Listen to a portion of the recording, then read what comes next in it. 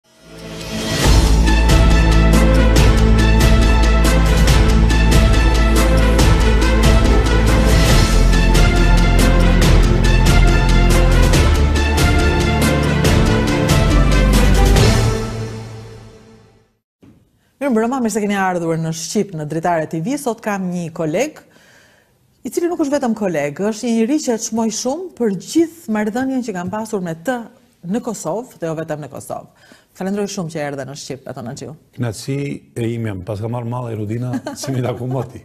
shumë kohë, kemi, pa fund. Kemi ndryshuar edhe unë edhe ti, edhe, edhe po themi edhe në profesion edhe në familje, por së paku, atë sa të kam lexuar edhe atë sa provoj të lexoj ke mbetur po ajo. Rigjendemi, kështu që rigjendemi njësoj gjithmonë. Gjithsesi, të falënderoj gjithmonë për Kosovën që pashë me sytë e tu. Ne të gjithë kemi nevojë për udhërrëfyes, pastaj bëjmë rrugën tonë. Po Kosova ime që pashë nëpërmjet teje ishte një ndihmë që falënderoj shumë. Pse e ke lënë Kosovën ose pse e ke ndarë me Shqipërinë? Ëh, E kam ndarë me Shqipërinë për arsye se e gjithë ideja ime që nga viti, um, domethënë, që nga ngjizja e idesë për, për Shqipërinë në familje, nuk ka ikë, nuk ikë lehtë. Për arsye se është një udhërrëfim i prindërve, pastaj idealizimi i një gjëje që s'ekziston, krijimi i një imagjinate të bukur që është Domethënë që pastaj rrënjoset edhe nuk ikën. Pa marrë parasysh se kur jam takuar me vrazhdësinë e realitetit, nuk më kanë ndihmuar që të iki nga vrazhdësia. Dhe unë gjithmonë kam besuar që kjo vrazhdësi një ditë do të jetë më e bukur dhe kanë shkuar shumë vite, por Vrazhdësia e takimit të parë më ka mbetur në Shqipërinë, por dashuria s'më ka ikë asnjëherë. Tani po qeshja përpara se të futeshim në emision, kur të pashë që po kujtoje nëntëdhjetë e treshin me Bujarin, po ajo ishte një emision me vete, e? Po, askush nuk e di, Shumë e bukur. se atë nuk na ka njohur askush. Bujar Kokonozin që e pashë u befasova, për arsye se janë shumë vite. Dhe kishte ngrirë ai, ndërkohë.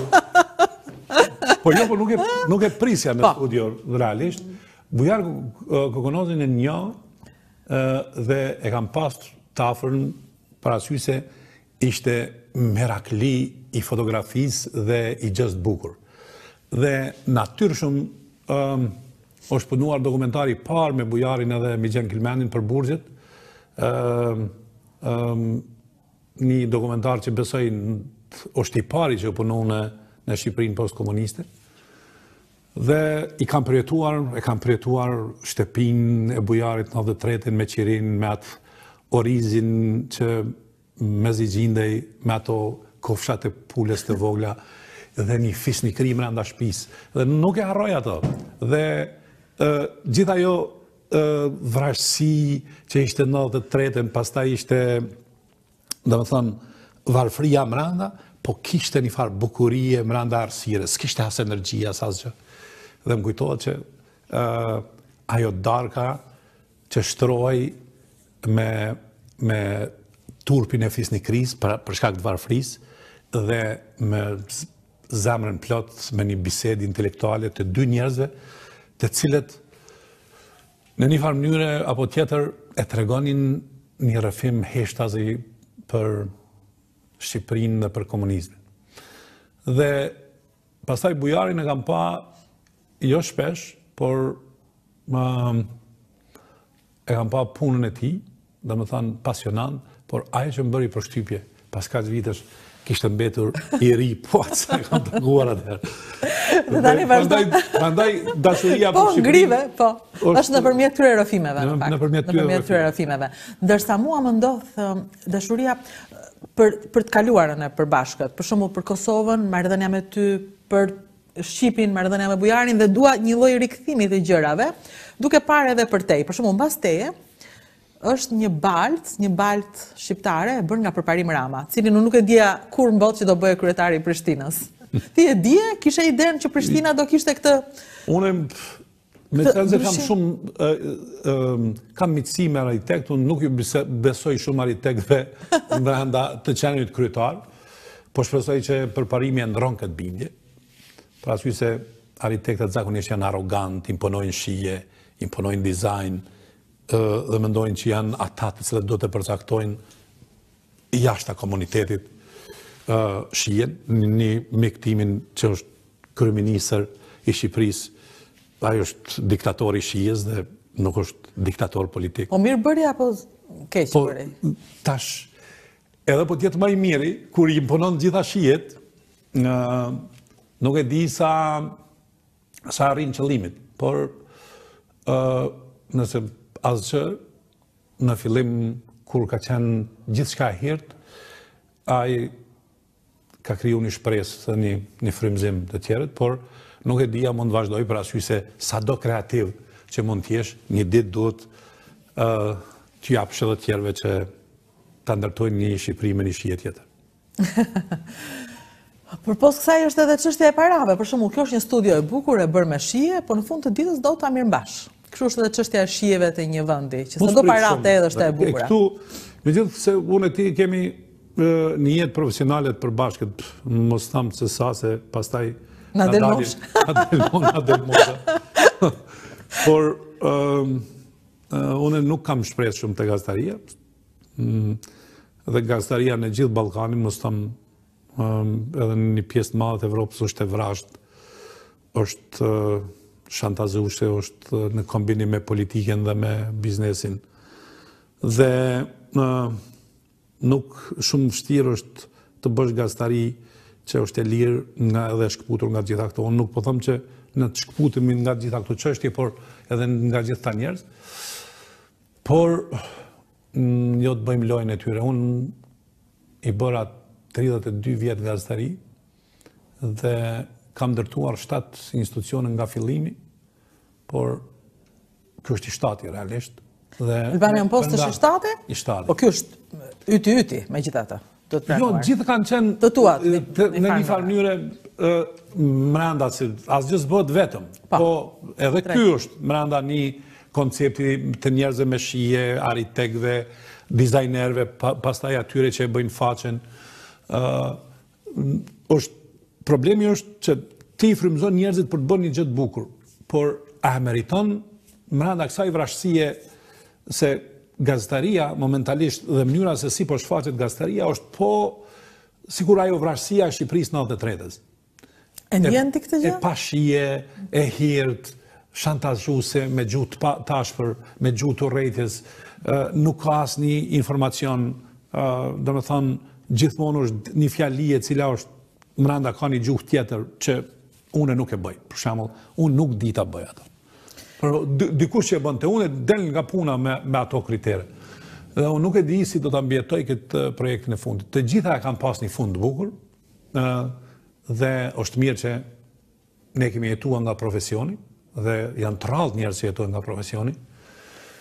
ë eh, ose që jetojnë mirë nga profesioni, por i kam humbur bukur shumë shpresat. Edhe pse në në momentin kur jam në Albanian Post, besoj edhe ti në Dritare, asnjëherë nuk kam punuar me kohëzgjatje të punës ma shumë sa tash. Gjithashtu, unë kam shtatë muaj që s'dal që këtu. Jetoj këtu praktikisht, po. por, por kjo është pyetja, dhe kjo është mënyra se si dua ta ngre gjithë emisionin, mbi këtë pyetje që ti ia ke vënë edhe emisionit tëndë, ku gabuam. buam. Ku gabuam ne që erdhëm në këtë në këtë ngjashmëri me nëntëdhjetë e treshin tani në vrazhdësinë, mbase jo në varfërinë, por në vrazhdësinë e gjës. E kem të profesioni, e para punës ë të gjitha partitë politike kanë krijuar portalet e veta. Kjo është gjëja më e keqe. Kjo është. Dhe portalet, meqenëse rrjetet sociale tash janë prekje secilit, ato nuk e prekin vetëm betejen e dy palve ose tri palve. Për shembull, partia socialiste ka disa portale, partia demokratike disa, lëvizja socialiste dhe për integrim. Që domethënë disa, mbajnë me lekë portale? Nuk e di, jo, gjuha që ata përdorin, shihet që ka një prejardhje. Kuptoj. Dhe ka informacion dhe që dhe të uh, është i mbrendshëm dhe s'e ka askush. Dhe nuk është gjuhë që vjen prej hulumtimit, është gjuhë që vjen direkt. Copy paste. Dhe domethonë, i bëjnë bypass fjalive të tyre dhe i përdorin portalet të cilat nuk kanë as autor, nuk kanë as kryeredaktor, nuk janë, janë pa emra. Dhe sharja pa emra është evidente dhe është pjesë e botës së komunikimit mbrenda nesh. Dhe fatkeqësisht, meqenëse Kosova ka qenë e operuar nga kjo, si është e mundën që për një kohë të shkurtër ë realisht e absorboi idenë e keqe. Po, është e pahabitshme si ndodhi. Shpejt, shumë shpejt. Janë të panjohshëm debatet e Kosovës, ku a ti mban mend dikur kur unë vija për të parë bëja po, debate, njerëzit kishin një një do e thosha me Arbër, me fjalët e Arbër Xhaferit, një distancë higjienike. Po. Në komunikim, në raport në të gjitha. Tani gati njësoj është. Domethënë është një zhurmë. Është më shumë zhurmë. Është zhurmë që nuk kupton asgjë nga debati. Domethënë nga show Nga një debat ku mendja dhe mendimi ka qenë prioritet, tash është bë vetëm që nuk po veshim gjërat e showbizit për me dalë në debat, se do është si showbizit debati. Domethonë, ka humb kriteri i të dëgjuarit, nuk e dëgjon tjetrin. Ka, vjen, ta vjen, vjen e jap mendimin dhe iken. Dhe Esenca është që nuk e jep mendimin e vet. Po ajo që është dhimbje e madhe, mendimi i paguar është evident. Mendimi i paguar. Dhe mendimi i paguar është gjithmonë i vrazhdë. Me thënë të drejtën edhe ë uh, s'ke që bën, është do me u ballafaqu me realitetin është shumë vështirë dhe kam shumë pak besim që kjo do mund të përmirësohet. Ndërkohë, jo edhe, edhe një gjë po ndodh, audienca e e mendimit të paguar është e ulët. Duhet ta pranojmë. Është si puna e ti mund të sponsorizosh në Facebook, por asgjë nuk ecën siç ecën diçka që ngjit. Dhe shikuesit tanë janë shikuesit të, të cilët kanë shkuar te Big Brother tashmë, sepse në qoftë se do një show të paguar, shkon tek një show si Big Brother. Unë nuk kam asgjë kundër që Një pjesë e popullatës të ketë show. Jo, ata janë po, janë të ndryshëm në shije. Që disa emisione janë bë pjesë e jetës. Domethënë e ndërtojnë shijen e jetës, e ndërtojnë mënyrën se si të jeturit që është fake. Domethënë, nuk guxojmë ta imponojmë një shije e cila është wannabe, si dëshirojmë të jemi. Dhe fakti që mediumet, disa mediume udhëhiqen mbi këto kritere. dhe janë të përmasave të investimeve sikur të kishim 70 milion banorë, atëherë, kjo o problematike. Nuk mund t'i ngjajmë dikujt me 3 milion banorë. Dikush që i ka 70, çfarë është Italia, çfarë është Gjermania s'ka kësi kritere, po megjithatë ka edhe kësi emisione. Uh, dhe kriteret wannabe janë problematike, Rodina. Unë nuk e di si do të kalojmë, po megjithatë njerëzit nuk po don ta shikojnë veten mbi realitetin që jetojnë, por mbi atë se si do të duket fashionable një atmosferë e jetës tyre, që është e vrazhdë, prandaj njerëzit ikin. Ikin edhe për shkak të emisioneve të tilla. Për arsye se mendojnë që jeta reale dikun jashtë është e tillë. Pra dhe ajo që mu, ata të cilët nuk e din kontekstin social dhe sociologikisht se si ndërtohet një, një gjë, ajo e do një kohë, një traditë, një ballafaqim social me të vërtetën e tjera të tjera. Dhe nëse ne mendojmë që një Big Brother, një realitet që njerëzit, sociologët e kanë pasë, jo është e nevojshme që një shtresë tjetër të hyjnë dhe të komunikojnë me, mes veti. Të bartet copy paste këtu, pa asnjë kriter. Domethonë, duke anashkaluar kontekstin social, duke anashkaluar rrethanat që si jemi rritë na, sa jemi të pasun, sa është ekonomia jonë e pasun, na e krijojmë një, një koncept artificial të jetës tonë. Dhe mbi këto kritere na kemi ndërtu copy-paste dhe jetën. Dhe copy-paste jetën, copy-paste jeta është e vrazhdë, për arsye se krijojmë një jetë depresive jashtë atmosferës e imagjinatës që na ndërtojnë copy-paste emisionet. Dhe uh, kjo i bie që unë jam kundër, unë nuk jam kundër këtyre emisioneve, po nuk i kuptojmë Nuk mundesh me jetu në varfëri ekstreme me gati 20%, edhe ta kuptojsh Big Brother. Se është shok social i madh. Kur e shikon dikush Big Brother me atë varfri, ai krijon urrejtje, pa asi se urrejtja ndërtohet mbi atë pasurinë e ekranit që e ka që na ofrohet. Dhe ai të nesërën edhe pse i pëlqen një moment, të nesërmen bën gjithçka është i afërt ma shumë me krimin pastaj, është i afërt me ma shumë me sjelljet e pahijshme. Mendon që të gjitha gjërat arrihen shpejt. Dhe mos të flas këtu, këto analizat që i sjellin, çfarë rezultate sjellin këto, këto emision. Dhe mos të flas për se sa shtrejt duken ato në pamje. Po, ato i dhe kryojnë. Vjen ketë që po flasim për diçka që që zakonisht nuk ish dashtë me folë për mediumet, po unë po flasim jo, për, flasim për, për konceptet të cilat na ofrohen. Po. Se sa uh, mrenda shijes tyne, se sa pa shije janë duke mos analizuar kontekstin social në të cilën jetojnë.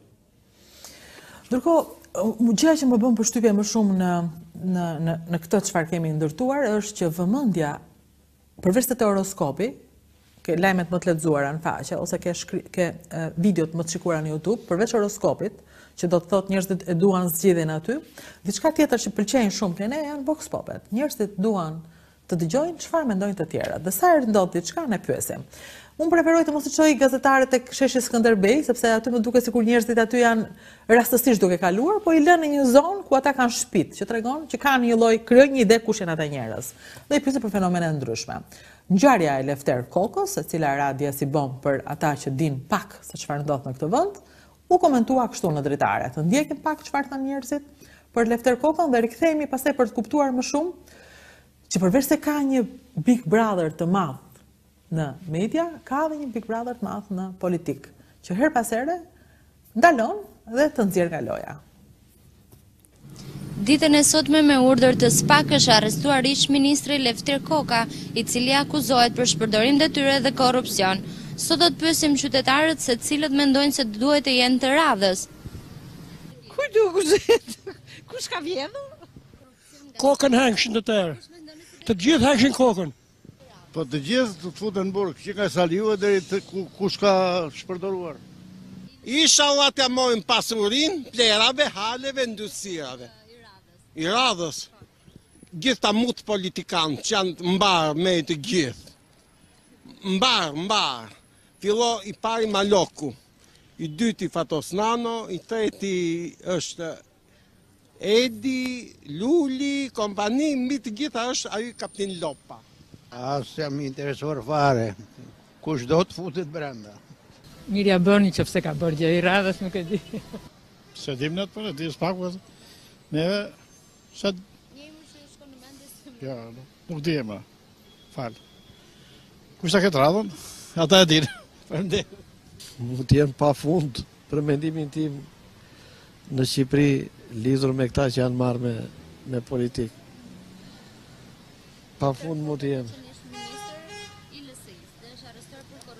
Pa, s'ka mundësi kur një minister s'mund të vjedhi, domethënë, pa qenë bashkëpunëtor me, domethënë, me shokë të tjerë. Po ishalla shpëtofshin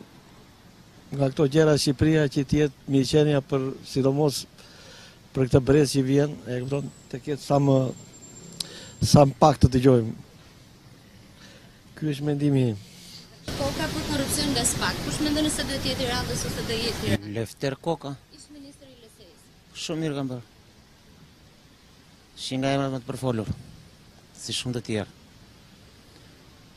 Punë e mbarë. Mendoni se do ketë arrestime të tjera të këtyre? Patjetër, patjetër.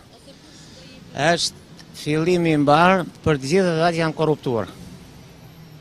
Kështu që s'ka asgjë për t'u çuditur, se për fukarenjtë është lajm i gëzuar. Për fukarenjtë është lajm i gëzuar.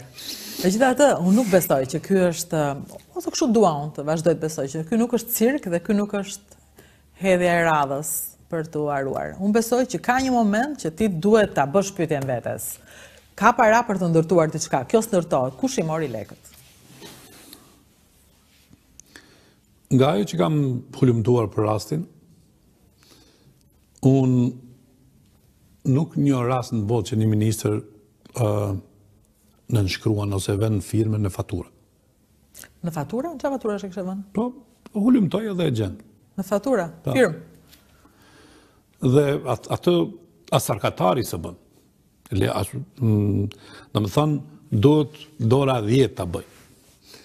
Dhe fakti se ka një mungesë ndërgjegjes, fakti se ka humb turpi, dhe fakti se gjithçka kalkulohet, i mbaj 2 vjet, 3 vjet burg, i fitoj 5 milion, 7 milion, dhe kam jetën e sigurt, kjo është, kjo i bie vdekja e ndërgjegjes.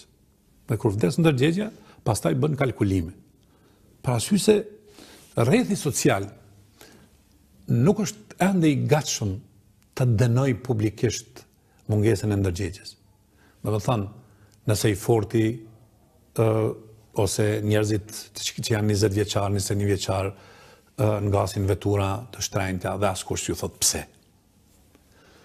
Nëse dikush sjell lek në shpi dhe prindët nuk e bëjnë pyetjen, po pse, kah i more, por mirë bëre, Dhe nëse nuk vendosen kriteret që nga lartë deri te familja, dhe mungesa e ndërgjegjes është element pozitiv në shoqëri, atëherë natyrshëm që kemi edhe të nënshkrimeve, nënshkrimet e ministrave në faturë. Dhe unë nuk tham që bota nuk ka lobime. Unë nuk tham që financimet e E vlerave, e bizne, jo, jo, bizneseve që besojnë në, në për shembull në të djathtën edhe në të majtën, nuk duhet me investu në parti politike. Po, ajo bindje, dhe bindjen ti e legalizon. Po, bindja nuk vjedhet. Kjo është problemi te legalizimi, se gradacioni i kësaj është burgu ose bindja. Dhe këta rrezikojnë gjithmonë me të shku në burg duke financuar diçka. Në vend që ta legalizojnë bindjen. Por për faktin se bizneset janë produkt i politikës, s'ke nevojë për bindje aty, ke nevojë për për për ulje. Gjithsesi, dhe prandaj unë i shoh njerëzit që janë mllefosur dhe po. pastaj edhe e shoh pse kemi rikthim të Sali Berishës. Eh, e drejtë. Domethën, mm -hmm. aq keq është situata, sa dikush që i ka 77 vjet, që mbrapa vetes ka gjithë ato të bëme, Edhe kthehet, po kjo, ça të thom unë ty? Domethanë, na kemi ardhë në pikën ku... Që vetëm Enver Hoxha mund të ngjallet tani. Vetëm se dhe ajo, nuk do dukej normale. Nuk, jo s'është problemi Enver Hoxha, s'është problemi që... Jo, po pranojnë çdo kthim të të kaluarës sepse ka një të tashme që i frikson njerëzit. Domethënë, kjo e Lefter Kokës, që nuk është i vetmi. Dhe kjo është një pyetje tjetër. Që ai s'është i vetmi, po ndërkohë duket sikur është një operacion i tradhtuar me njerëz të ikur që s'janë kapur akoma me emra të tjerë që po dalin, se ty po të del emri i Arben Ahmetajt gjithandej. S'e di. Nuk e di tani po e lexoja. Në këtë sekondë më dërguan një shkrim të reporterit që aty po dalin emra të tjerë, të cilët dalin dhe zhduken, dalin dhe zhduken, domthon. Ka një histori që vetëm hijet i shikon. Mm. Po, ka pas një mosrespekt të taksës shqiptare që në fillim. Që kur është kriju, unë e kam kuptuar deri në vitin 2001, për shkak të rrethanave, mbi të cilat është ndërtuar demokracia. Për arsye se demokracia, realisht, ato fillet e demokracisë kanë qenë vetëm prej vitit 2001, ajo pjesa tjetër ka qenë një, nuk ka as definim sistemi As në teori, se si ka qenë Shqipëria në post komuniste. Pra askush s'e ka qenë nga një vend feudal me bindje ideologjike komuniste në një demokraci e cila pastaj shpërthen. Po nuk nuk s'po du ta ta trajtoj ashtu, por megjithatë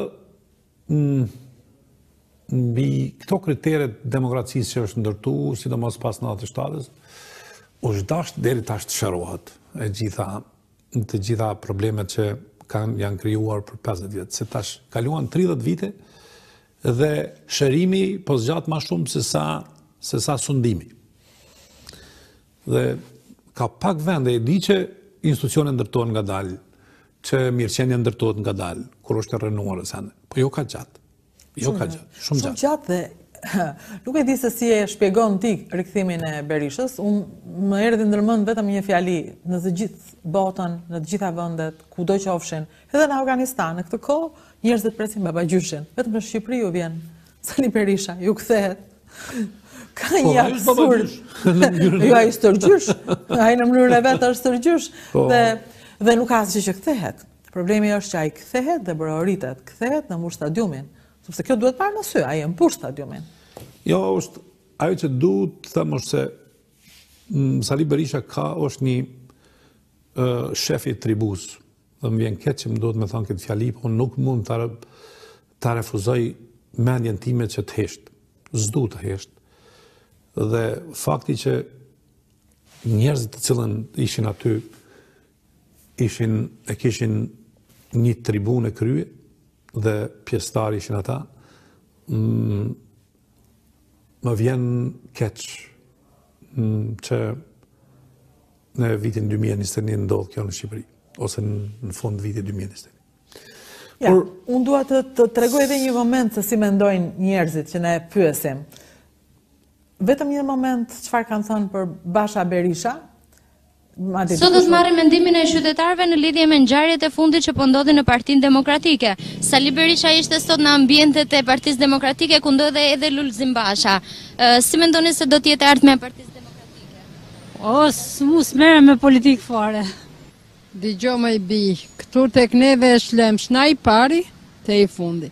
Ata veti bejnë, veti zihen, ne ngremë duart bi, kudo. Ky është populli jonë. Na intereson politika, jo. Rrëmujë siç është akoma. Kush mendon se do e marrë kreun e partisë? S'e di. Po di që do jetë rrëmujë. Do e lërë Basha. Unë jam me Bashën. Jam, jam socialist. Basha do e lërë.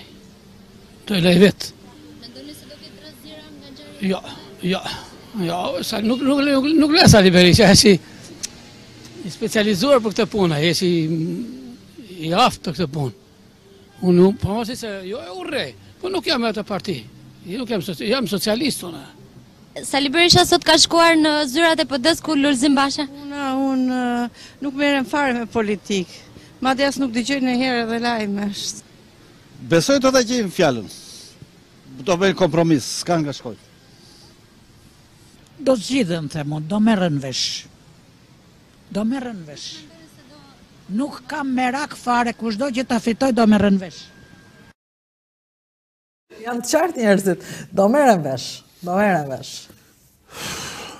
Nuk Në këtë histori ka një gabim. Mua nuk më pëlqeu riheroizimi i Sali Berishës ishte që ishte në fund të karrierës dhe ky mhm. edhe pse ishte vendim i drejtë i Shteteve të Bashkuara të Amerikës i individualizimi i non gratës është pak problematik.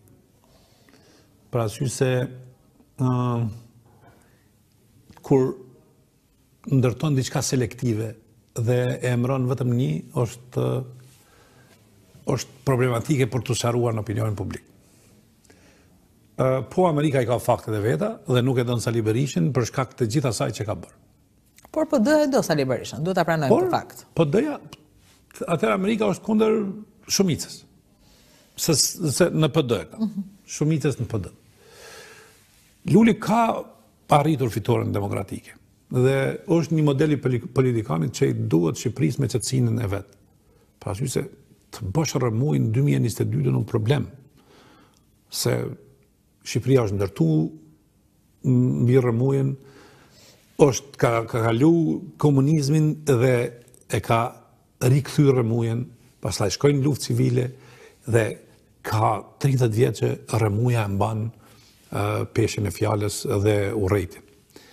Nuk duan më njerëz të tillë. Dhe, dhe njerëzit për faktin që e sidomos mediat që dojnë gjak gjithmonë për ta mbajt peshën emisionet dhe eksponentët kryesorë të kësaj rrëmuje janë mediat realisht. Mediat? Po, pra, po e financojnë mediat, domethënë, rrëmujën në një farë mënyre? Po e... Po Pikërisht, ai show, edhe pse politika do të duhej të ishte e vetëdijshme, që mos të jetë pjesë e kësaj rrëmuje. Rudina, vetëm po ta them në këtë moment, kur po flasim ne, nga hana deri të premten janë 26 emisione politike.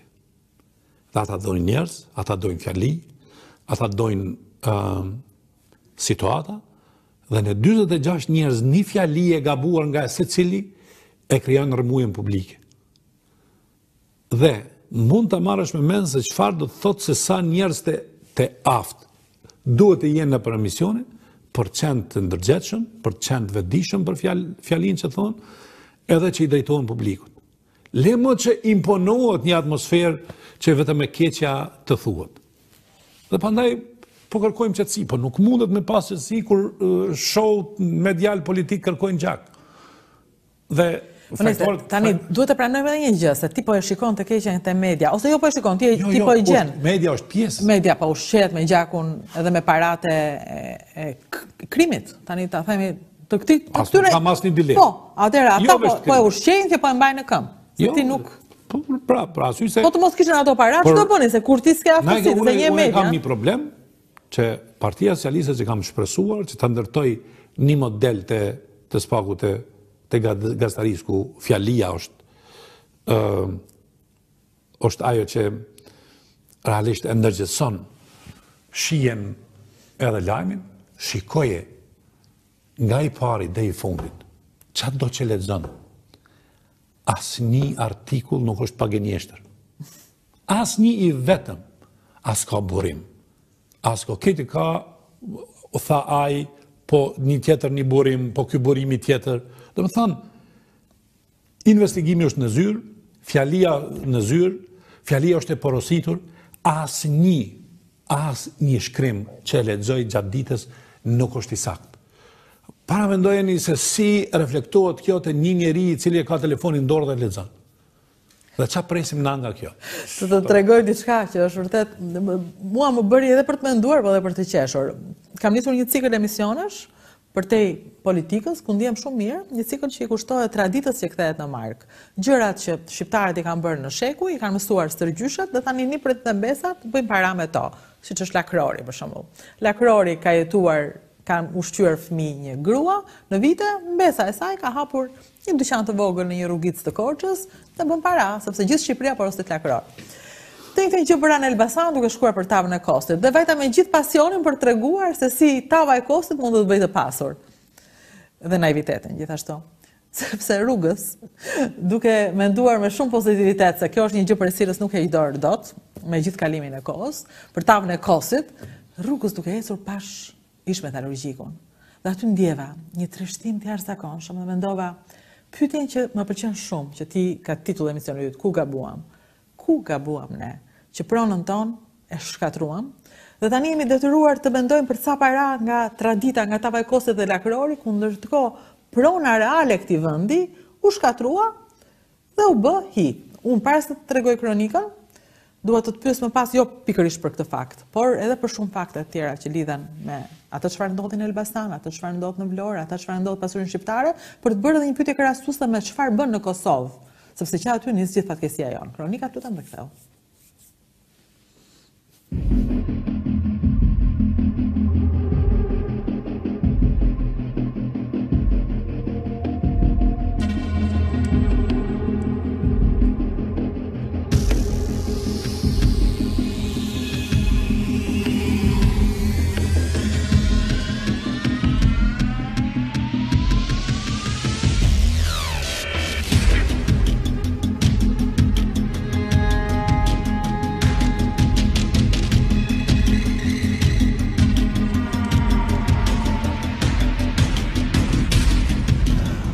është ish metalurgjiku.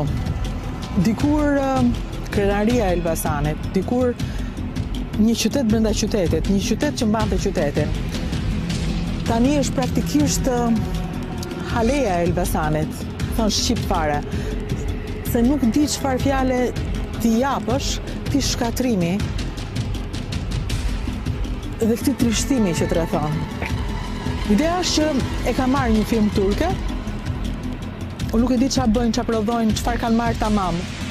Unë di që mbas kaq kohësh, kur vij dhe shikoj çfarë ka në këtë vend, shikoj vetëm harresë, braktisje, shpërdorim, vjedhje dhe frikë. Një frikë të madhe, çfarë bëhet me atë që na përket? Që ka qenë një ditë e jona dhe tani mund të na japi prapë të ardhura. Çfarë bëhet? Unë mund të them këtë që di, të tjerë që dinë më shumë, ka ardhur koha të flasin.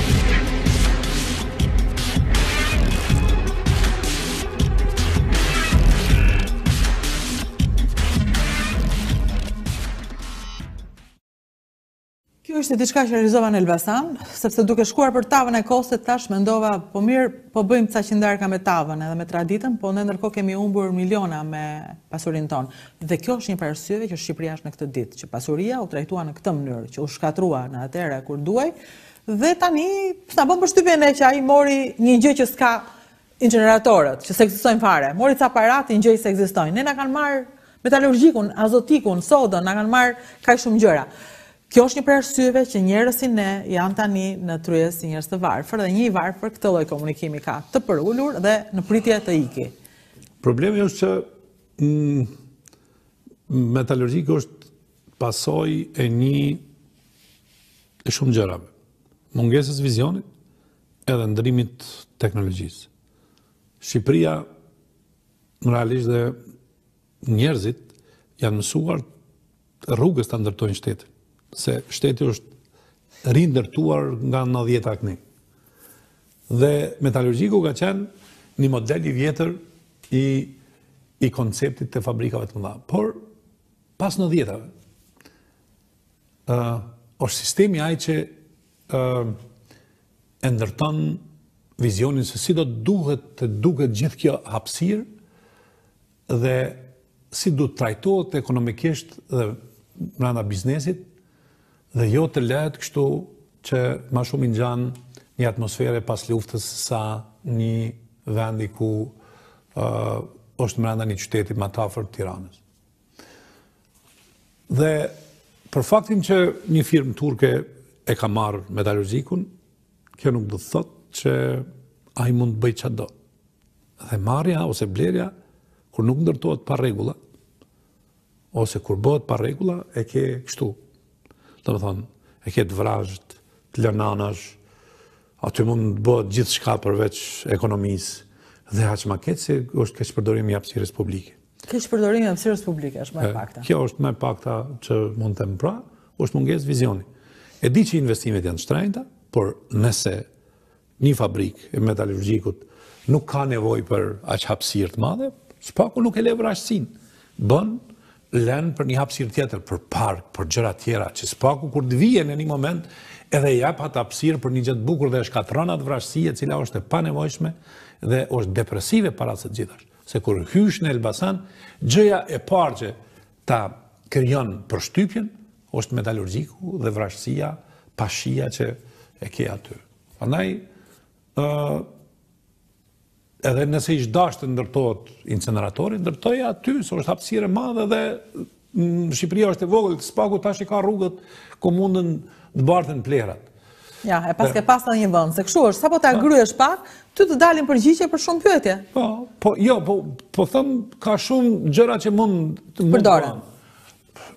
Elbasani është në gati në mes të Shqipërisë, po ka mundur, aty të ndërtohen gjëra sa të kenë të bëjnë me ekonominë, me IT-në, me gjëra të reja, që mund t'ia adaptohet gjithë asaj hapësire, hapësire publike. Por, ne, i bin shkurt, dojnë njerëzit të pasurohen shpejt, dojnë ta përfundojnë gjithë projektin për 5 vjet, 10 vjet duke mos pasur një vizion.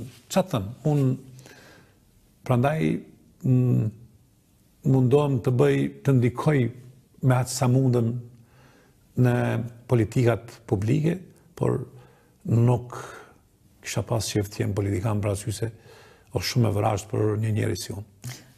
Ma tha si Robert Elsie, kur e pyta që ai foli me dashuri të madhe për Shqipërinë, në intervistën e vetme që bëri, në fakt, se nuk i pëlqente të intervistohej. Dhe në një moment kur e pyta që, për po mirë ka shumë sa e do Shqipërinë dhe Shqipen, a do jetoje këtu?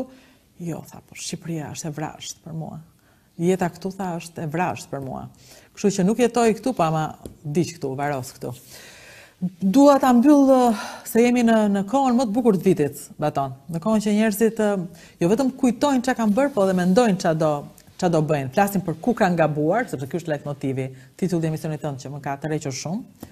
Edhe Shok ka qenë një titull tjetër që më ka pëlqyer, ajo që po realizon me me Bushatin. Me Bushatin. Po. Jeni të dy në në në në llojin e debatit publik që do duhet në fakt të bëhet në Shqipëri, po megjithatë nuk ju nuk mund t'i imponohesh dot sepse është tjetër atmosfera. Unë Rudina edhe me Ku gabuam edhe me Shok bashkë me Bushatin mundohem që të imponoj një model. Nëse këtë model nuk e duan shqiptarët, se unë kur funksionoj, funksionoj Shqipëri-Kosovë, domethënë, nuk funksionoj vetëm për arsye se Kosova më duket e pakuptimtë vetëm, Shqipëria më duket e paktë vetëm. Kështu që e kam shumë të qartë. Edhe në betejën për për bashkimin publikisht gati jam vetë 30 vite. Dhe gjej çdo qelizë hapësirë për ta imponuar idenë. Po këtu as ka institucione të gatshme, as politikë të gatshme për atë punë. Ne e duam edhe bashkimin e të gjitha gjërat të na bëjë dikush tjetër. Por asgjë nuk duam të flijojmë as riskun më të vogël, për arsye se frigohemi nga gjërat e tilla për ta bërë një gjysmë um, bashkë. Dhe kjo është sigur ai si të them ai ajo përralla e hermafroditit kur gjysma njëra gjysmë kërkon tjetrën dhe kërkon bashkimin. Dhe tek kjo përrallë gjysma tjetër ikën dhe gjysma tjetër largohet dhe nuk e ndjek as njëra-tjetrën. Dhe nuk ka një botë të bukur nëse gjysmat nuk bashkohen dhe nuk ka dashuri nëse nuk bashkohen.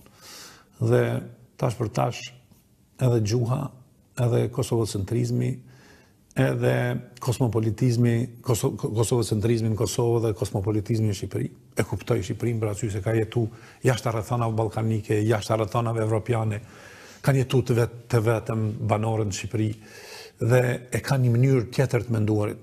Dhe uh, por prapë nuk e kuptoj që nuk ka një ndjeshmëri që um, kufijtë në çdo 100 km janë pa lidhje dhe janë pa kuptim.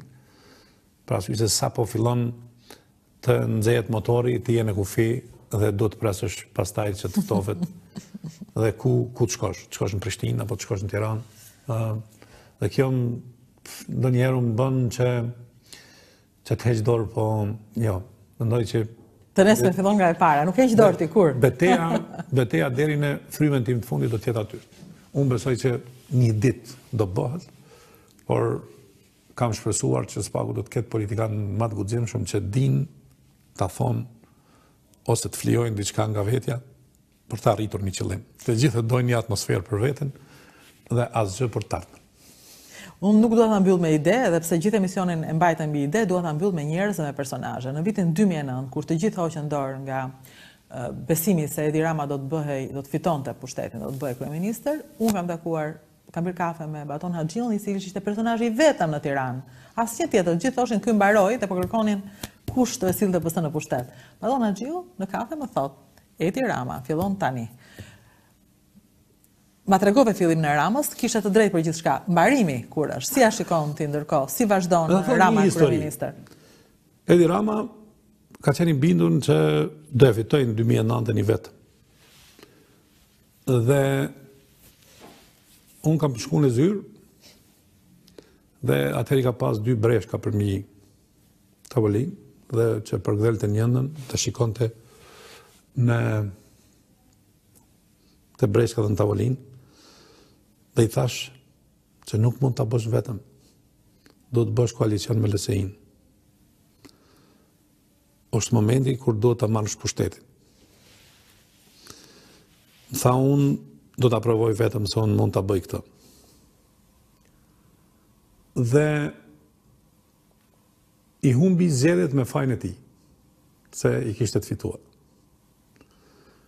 Por, për vitin që po flasim ne, ishte viti dhe kur jemi takuar dhe kemi pirë kafe, Unë, ai vit ka qenë kur u bë beteja për Tiranën që shihej që Partia Demokratike do ta marrë me dhunë ose në tavolinë. Dhe kur është padrejtësia e madhe, kur vjedhet ideja, vjedhet vota edhe vjedhet, domethënë, e drejta, atëherë s'ka rrugë tjetër përveç që të fitojë tjetri. Dhe kjo është arsyja pse Edi Rama ka fituar, për arsye se të gjithë ata të cilët e kanë përkrahur atë idenë e vrazhdësisë dhe vjedhjes së votës, ka qenë problematike dhe nuk ka pas rrugë tjetër përveç që vrazhdësia e quajtur Sali Berisha të shkojë nga pushteti. Po, për fundin s'po flasim atëherë, meqenëse më tregove vetëm fillimin. Okej, okej, rrimë tek fillimi i Ramës. Por tani dua të shkoj në një tjetër pyetje, sepse me të vërtetë u besoj te aftësitë e tua parashikuse që nuk kanë të bëjmë me horoskopin, kanë të bëjmë me racionalizimin e informacionit që ke. Berisha dhe Basha, kush vodhi kë? Dhe kë do ndihmojë fakti i vrazhdësisë të vjedhjes? Si e shikon fundin e kësaj beteje? Para, uh, Basha u dashtë që ta bëjë betejën 2014 dhe aty ta ndajë me Sali Berishën. Për faktin që e ka trajtuar si babë edhe jo si uh, lider politik, uh, ka qenë mbi uh, funksionimi i tyre ka qenë mbi do kode morale arkaike shqiptare. që baba nuk duhet prekun. Një politikan, kur t'japë dorëheqje, ik nga partia, nuk bëhet deputet.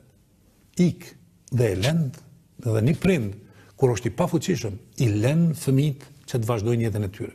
Sali Berisha është posesiv, me gjithçkafin, edhe për faktin që është posesiv, dhe është i vrazhdë, Bile, konsideroj që është në tavolinë ku rrin, e kam thënë publikisht që është një intelektual që ke dëshirë të flasësh me të, por pjesa intelektuale vdes në momentin kur rrugaçëria del në sipërfaqe. Dhe rrugaçëria është arkaike, intelektualizmi është lexim. Por s'ka kurrgjë kombinim që pjesa e tij intelektuale të del n'sipërfaqe, edhe të krijon vizion. Sali Berisha është i vrazhd si natyrë, për arsye se edukata e tij është e tillë. Nuk është e rastësishme. Dhe ky posesivitet e ka vra Lulin. Por gjithmonë kur vijnë në ndihmë, kur vijnë në ndihmë të mëdhenj, e shpëtojnë. Prandaj thashë Luli do ketë fitore burokratike dhe Sali Berisha do ikë si një njeri i cili ma shumë ka bërë keq sa mirë këtij vendi dhe për shkak kontekstit politik dhe, dhe gjeopolitik Sali Berisha nuk është si Enver Hoxha, përndryshe është ma i vrazhdë, ma uh, i pashpirt, dhe